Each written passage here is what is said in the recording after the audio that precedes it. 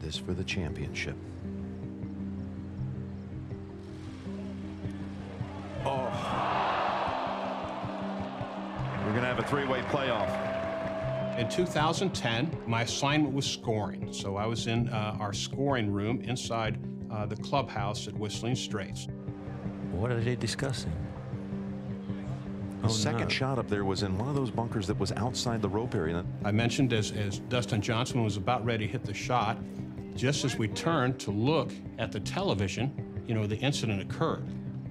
I, you know, was in shock, knowing that, look, that was one of those bunkers, and I ended up calling it in and said, we have a problem.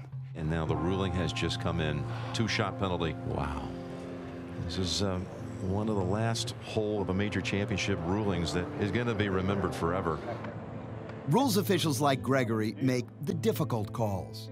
They are men and women who've officiated at everything from PGA championships and Ryder Cups, right on down to local events. Every four years, rules officials are required to attend education workshops, but most elect to go every year. This is the PGA of America USGA Rules of Golf Workshop for people who've scored 85 or above on our 100 question exam in the last six years. This is the cream of the crop, really. Uh, you get, in every rules workshop around the country, you have very qualified, very experienced rules officials, but rarely do you see this many of them in one room together. Gregory and the USGA's Director of Rules Education, David Stabler, are just two of the 22 instructors who teach these schools. They are four-day seminars concluding with an exam so demanding only 1% result in a perfect score of 100. Got a little bit of a streak. I have four 100s in a row heading into this year, uh, along with seven total. So looking forward to, uh, to seeing if I can keep the streak alive.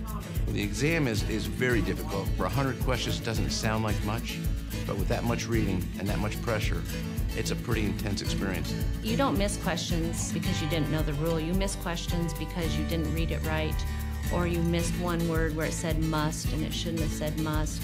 The uh, anxiety level on exam morning is uh, it's a 12 on a scale of 1 to 10.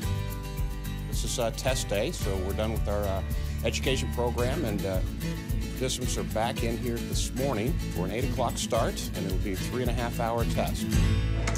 Well, we've got our projector and our laptop for our review and the box right here is contains the exam. I've been keeping it in my hotel room until now. I've taken the bar exam. The rules of golf exam is much more difficult. I've, you know, been to graduate school and I took the LSAT and all that stuff. I think it just ranks right up there with with those. 99. I keep making a silly mistake every year, so I've scored a bunch of 99s. You know, my goal coming in today is always just no no reading mistakes. If I can do that, I think I'll uh, have a pretty good shot.